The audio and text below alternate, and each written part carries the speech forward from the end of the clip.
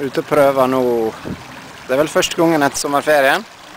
Jeg lager meg en ny renne. Den er litt større eh, og har et litt annet system i seg. Jeg ser jeg må forandre på det, for måten Der er ikke nok sirkulasjon i grusen. Jeg vet ikke om det synes, men han ligger nesten stille.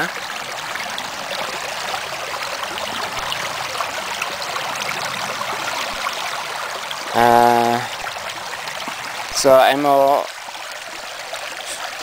gjøre litt om på rillene. Eh, og så må jeg prøve å finne meg en plass i elva med mer, mer helling, rett og slett. For den fanger opp alt annet den fanger det meste, da. Da har jeg holdt på i ca. en time. Hullet er blitt litt større og forhåpentligvis litt dypere. Eh, det ser ut som at renna klarer å holde det sånn at rillene er omtrent De, de har materiale til ca. halvveis innpå, og resten er da fritt.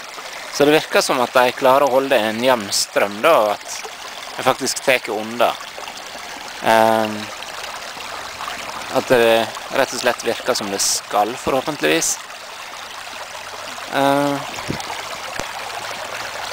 Der fester seg litt her oppe, men det får jeg forhåpentligvis fiksa jeg får et skikkelig sorteringsbrett.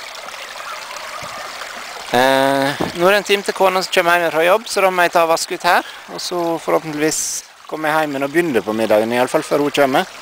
Eller så, eh, eller så blir hun gala. Så dette blir bra.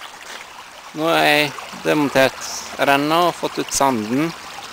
Eh, eller konsentrater, eventuelt. Og vaska ut mesteparten. Så dette er det jeg har igjen av svartstand og tyngre stein. Skal jeg ta vaske gjennom dette, så skal jeg se om jeg finner noe mer i bunnen av det. Tenkte jeg. Som vanlig når jeg vasker gjennom, så er det da ingenting. Bortsett fra eventuelt ha Nei.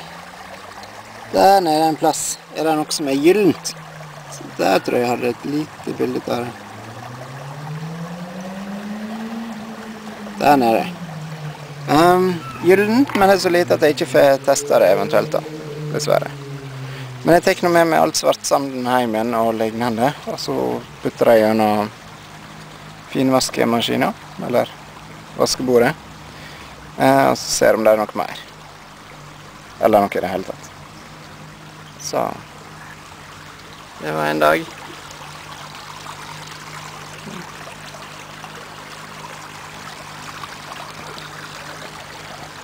Og dette er midt i Oslo. Tenk på det.